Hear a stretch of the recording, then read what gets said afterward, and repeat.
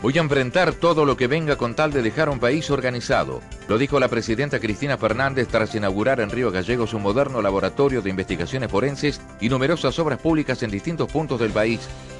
La AFSCA presentó una denuncia penal contra Cablevisión por no cumplir con la adecuación de la grilla de canales de cable.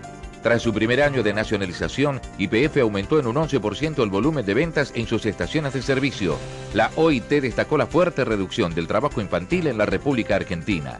Los médicos aseguraron que afortunadamente el corazón de Renzo trabaja al 100% y si sigue evolucionando podría salir de la lista de espera del Incucay. Finalmente trasladaron a Patricio Fontaneta al penal de Ezeiza desde la clínica psiquiátrica donde estaba internado. Se suspendió el partido que Estudiantes le ganaba a Lanús por 2 a 0 por incidentes que dejaron un saldo de un hincha muerto y otro herido de gravedad. Esta noche San Lorenzo recibe a Argentinos Juniors y si el bicho gana, mandará al descenso Independiente.